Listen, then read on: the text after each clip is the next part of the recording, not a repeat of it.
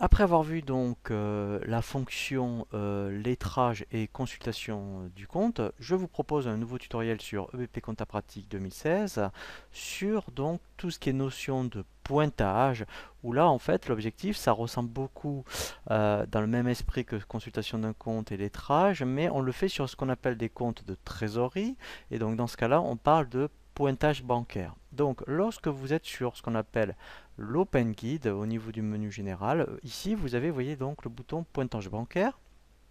Et là, en fait, directement, on, va faire ce qu'on appelle ajouter. Donc là, on est bien, mettons, sur janvier 2016. Donc je vais laisser ça par défaut.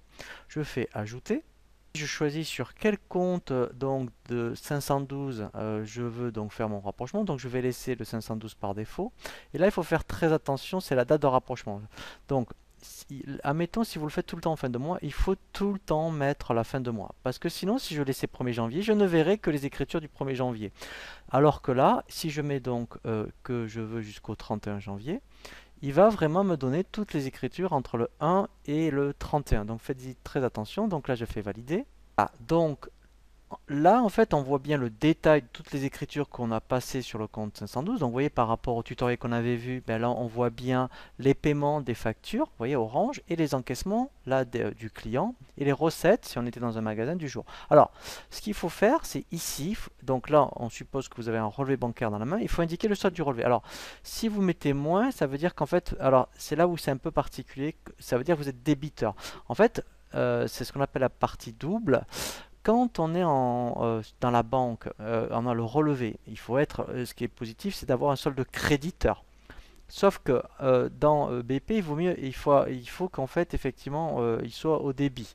voilà, donc c'est un peu particulier. Donc pour dire si c'est en plus, là vous le mettez en positif, c'est-à-dire qu'il sera créditeur. Et si c'est débiteur, eh bien, il faudra payer un moins. Alors, donc là, je vais dire, mettons que vous avez un solde créditeur de 2000 euros. Et après, tout simplement dire, eh ben voilà, admettons, les 80 euros, je les vois passer. Donc en fait, voyez, on clique sur le bouton pointer. Voilà. Et admettons, le client a bien réglé, donc je pointe aussi. Voilà, je le vois passer, voilà.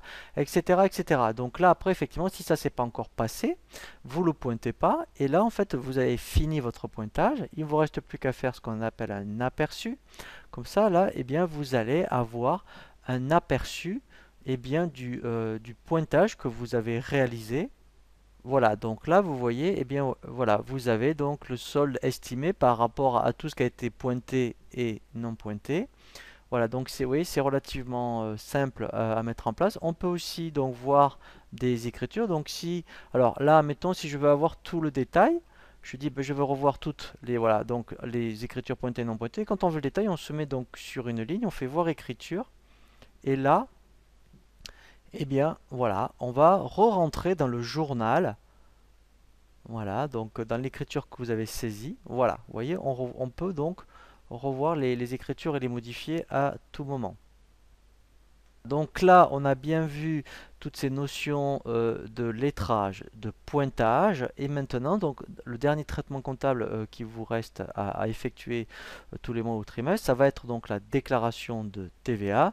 Donc c'est ce que je vous propose dans le prochain tutoriel.